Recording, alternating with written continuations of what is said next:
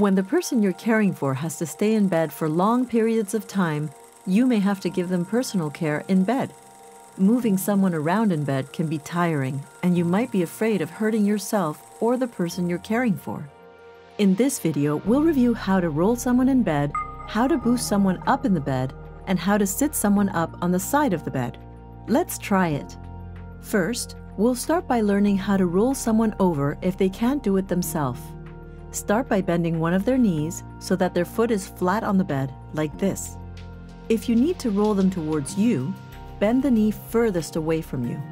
If you're rolling them away from you, bend the knee closest to you. Next, you'll need to make sure their arm is in a position where it won't be in the way or get injured. Place the arm on the side you're rolling off of on their chest and place their arm on the side they're rolling onto out in front of them like this. Stand with your back straight, knees slightly bent, and your feet apart about the same width as your shoulders. This will help make sure you don't get hurt.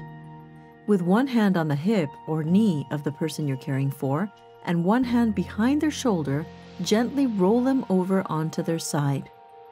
Turning the person you're caring for and moving them around every two hours is the best way to prevent them from getting bed sores.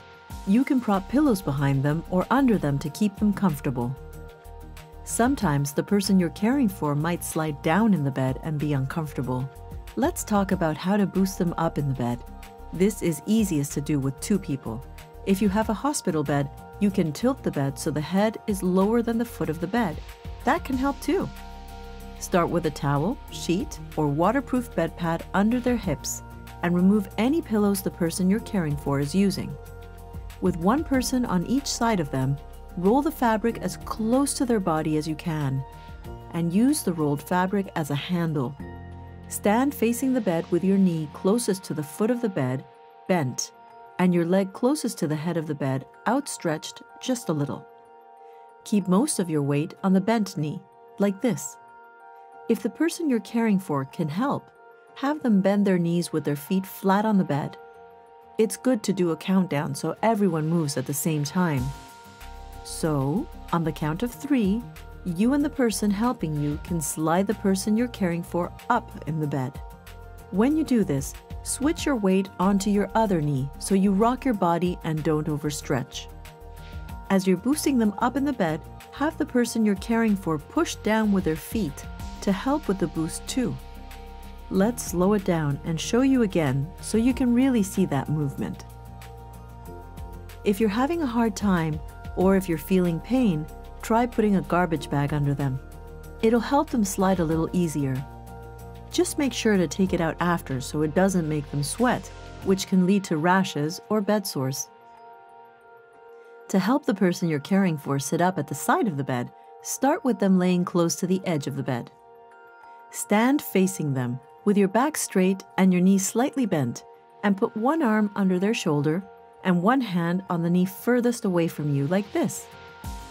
Count down before you start so the person you're caring for will know when you're moving.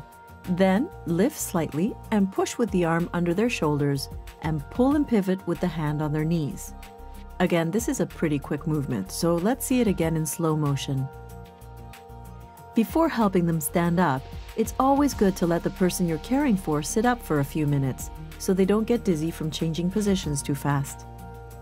Whenever you're helping someone in bed, try to keep the bed at your waist height It'll help keep you from injuring yourself by making sure you don't overreach. If someone needs a lot of help in bed, and they're able, renting or buying a hospital bed will make it a lot safer and easier to help with care. You can access hospital bed rentals through your local health integration office or home health store. Moving someone around in bed with ease takes practice, but using the steps in this video will help you protect yourself and the person you're caring for from injury while you do it.